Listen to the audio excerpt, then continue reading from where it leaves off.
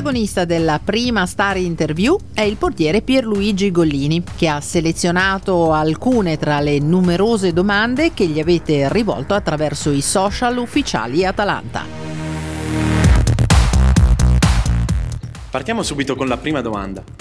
Quali differenze nelle metodologie di allenamento hai riscontrato tra Italia e Inghilterra? Non mollare mai perché sei forte e lo dimostrerai. Tra Italia e Inghilterra ce ne sono parecchie differenze, eh, sia dal punto di vista dell'allenamento per quanto riguarda la squadra che da quello, dal punto di vista dei portieri, perché mh, mm, il lavoro sui portieri è molto più specifico in Italia a livello tecnico, si lavora molto più sulla tecnica e sui dettagli del ruolo, mentre in Inghilterra si, diciamo si tende a lavorare un po' di più su quello che è il ruolo in generale e viene un po' curata meno la tecnica del portiere e certi aspetti appunto un po' più proprio nel dettaglio, mentre anche per, per quanto riguarda la squadra c'è molta meno tattica, eh, c'è molta più individualità, molti più uno contro uno e, e, e più fisicità. Restiamo in Inghilterra, ti chiedono quali sono i ricordi più belli della tua esperienza a Manchester? Ricordi belli ne ho tanti sinceramente. Ehm, ecco, a differenza per dire da, da, prima squadra e settore giovanile, in Inghilterra il settore giovanile ci si allena molto di più. Eh, a Manchester io ho fatto un'esperienza molto dura, è stata molto formativa anche dal punto di vista umano oltre che quello calcistico. Eh, se devo dire forse il ricordo più bello è quando abbiamo giocato eh, nella FA Cup giovanile che sarebbe un po' come dire la Coppa Italia Primavera. E ho giocato all'Old Trafford è stata sicuramente una grande emozione. Poi comunque quando giochi nel Manchester, nel giovanile, in primavera fai già tante tournée in giro per il mondo, quindi vai in vari posti e fai tante partite contro tantissima gente in tutte le parti del mondo e questo è sicuramente una cosa bellissima. E qual è il sacrificio più grande che hai fatto per il calcio? Sacrificio, uno non riuscirei a dirtelo in particolare, sicuramente ce ne sono tanti, cioè io posso dire che ho sacrificato la mia vita per il calcio, no?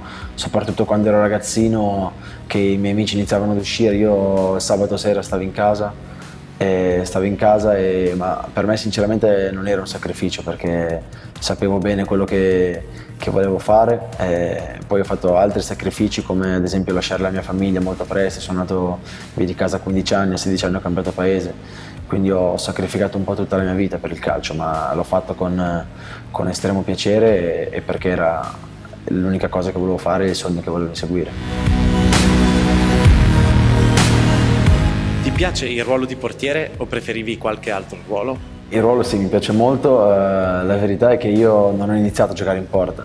Io ho sempre voluto giocare in porta ma non mi hanno mai fatto giocare in porta perché anche quando ero ragazzino mi dicevano che fossi bravo fuori quindi dicevano no, non andare in porta, stai lì, eh, però no, eh, il mio ruolo mi piace molto anche se penso che sinceramente sia il più difficile di tutti perché ci sono tantissime componenti eh, però sì, mi piace molto il mio ruolo e, e spero che ci siano anche tanti ragazzini che, che crescendo vogliono fare il portiere. Ti chiedono che cosa fai per concentrarti prima della partita? Che musica ascolti in cuffia? Io ovviamente ascolto sempre rapper con i guanti. Allora ringrazio, mi fa molto piacere. E, ehm, beh, per quanto riguarda prima delle partite io eh, sono molto nel mio mondo perché ho, ho bisogno di trovare la totale concentrazione. Eh, parlo molto poco perché appunto eh, un po' il mio carattere così, no? a differenza magari di quando c'è da, da, scherzare, che sono uno dei primi normalmente, però prima delle partite sono, sono, molto silenzioso, mi piace stare molto concentrato e pensare alla partita.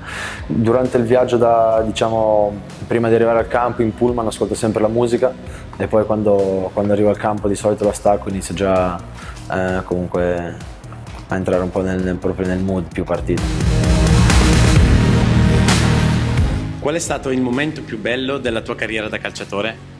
Dammi qualche consiglio da dare a un giovane aspirante portiere. Sei forte. Il mio momento più emozionante da calciatore è sicuramente l'esordio in Serie A, eh, perché è un sogno che si realizza per tutti i ragazzini che sognano di fare questo sport.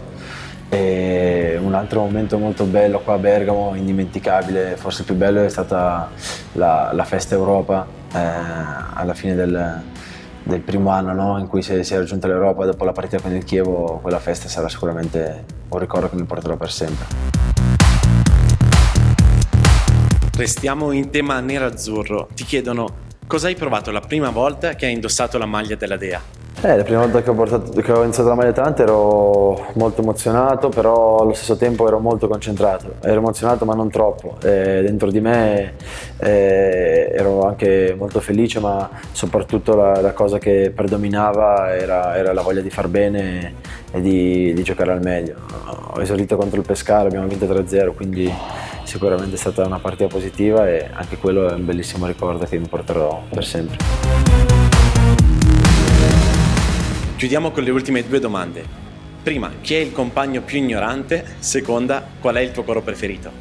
Ah, il più ignorante ovviamente in senso buono è Atebor che gli voglio molto bene, però lui non ha rivali e il coro che preferisco di più è, è quello che fa forza, Atalanta non mollare, segna, presentare questo stadio, forza, è da qui della tua città e poi parte, quando parte poi è bellissimo, quello è il mio preferito.